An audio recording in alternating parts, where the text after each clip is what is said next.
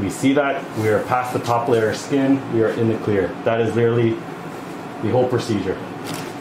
So I'm gonna put a little bit of tension on. Okay.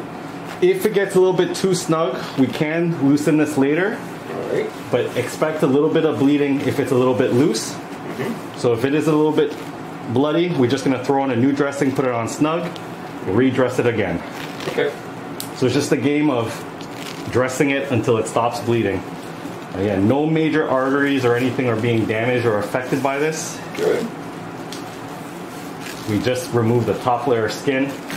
So I'm putting on a little bit snug today, especially just around the heel part, mm-hmm. just to reduce the amount of bleeding.